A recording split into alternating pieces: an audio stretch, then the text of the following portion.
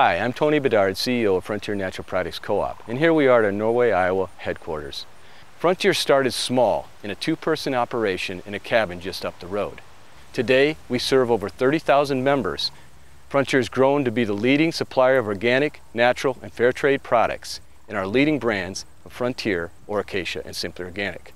Our 300 employees continue to serve our co-op membership and retain those co-op values.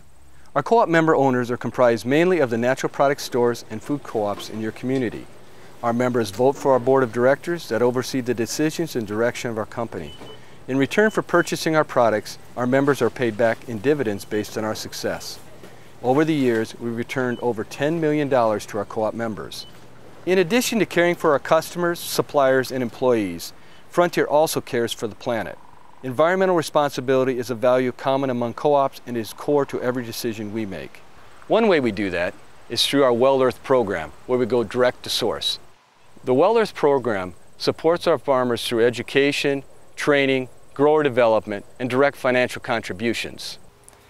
We also practice environmental sustainability close to home. Our facilities are designed and retrofitted for energy efficiency, and we diligently monitor, measure, and reduce our carbon footprint. We offset the carbon footprint of shipping our orders through the purchase of carbon credits. One thing we're really proud of is our on-site daycare.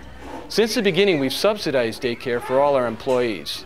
This has allowed our staff to balance their home and work life.